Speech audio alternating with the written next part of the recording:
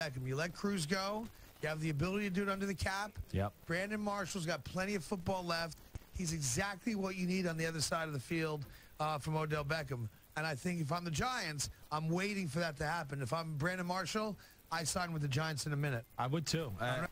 Brandon Marshall, who wants to play in the playoffs, win a Super Bowl game, or win a Super Bowl, playing a Super Bowl, whatever it may be. The Giants are they, they're they're a player or two away from being a legitimate Super Bowl contender. I mean, they get an offensive lineman, they get another running back in the mix, and one more receiver. And I'd go, wow, the Giants are one of the best teams in football. I tell you, if the Giants got Adrian Peterson, Brandon Marshall, and fix the Ereck Flowers problem, they're right there. Yeah, I agree. And, that, and that's all on the table. I'm not saying, hey, if I won the lottery, I'd buy a house. That's legitimately on the table to happen. They need more than a Adrian. You know, they got the Paul Perkins. That's great. I don't think Paul Perkins is your guy you want to be 25, 30 times a game. I think you want him to be your number two.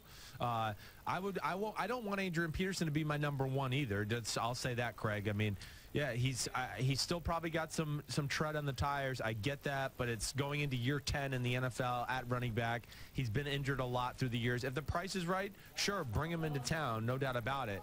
And as the Giants, you might be able to get him into town for a little lower than other teams because of New York. And Adrian Peterson might want to experience the New York media and see what it's like to to play for under the big lights.